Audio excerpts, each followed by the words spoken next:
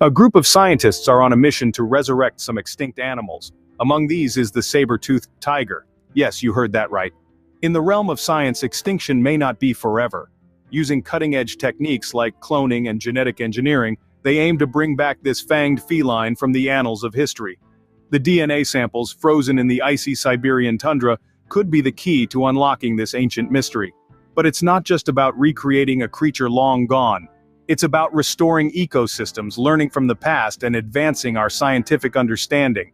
So hold on to your hats, because the future of the past is closer than you think. This is the dawn of de-extinction.